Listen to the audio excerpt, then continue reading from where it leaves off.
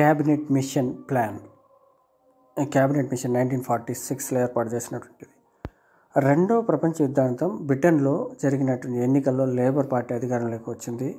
Labour party అధికారంలోకి వచ్చిన తర్వాత లార్డ్ కిమెంట్ అట్లీ ప్రధాని అయ్యాడు నైన్టీన్ ఫార్టీ సిక్స్ మార్చిలో బ్రిటిష్ పార్లమెంటు ప్రకటన చేస్తూ భారతీయులకు సమస్య పరిష్కారం చూపడం కోసం ముగ్గురు సభ్యులతో కూడినటువంటి కమిటీని ఏర్పాటు చేశారు. ఆ కమిటీ భారతదేశాన్ని సందర్శిస్తుందని పేర్కొన్నాడు. అందులో సర్సా స్టాపర్ట్ క్రిప్స్ పెతి క్లారెన్స్ ఏబి అలెగ్జాండర్లతో కూడిన కమిషన్ భారత్ సందర్శించింది.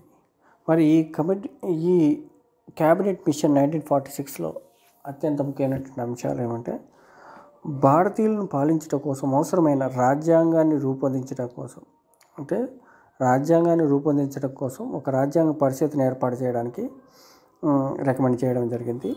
బ్రిటిష్ పాలిత ప్రాంతాల్లో రాష్ట్ర శాసనసభ ఆ, శాసనసభ్యులచే రాజ్యాంగ పరిషత్ సభ్యులను ఎన్నుకోబడతారు. అదేవిధంగా స్వదేశీ సంస్థానాలు రాజ్యాంగ పరిషత్కు తమ ప్రతినిధులను పంపుటకు అధికారం కల్పించబడింది.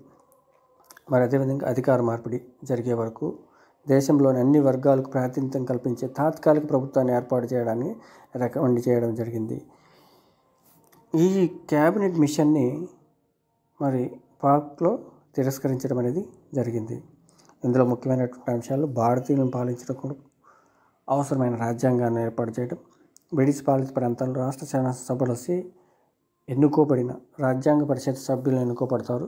స్వదేశీ సంస్థానాలు రాజ్యాంగ పరిషత్కు తమ ప్రతినిధులు పంపుటకు అవకాశం కల్పించడం జరిగింది. అధికార మార్పిడి జరిగే వరకు తమ ప్రతినిధులు పంపుటకు అవకాశం కల్పించింది అన్ని వర్గాలకు ప్రాతినిధ్యం కల్పించే తాత్కాలిక ప్రభుత్వాన్ని ఏర్పాటు చేయడం జరిగింది. లార్డ్ మౌంట్ బాటన్ తర్వాత ఏర్పాటు చేయడం జరిగింది.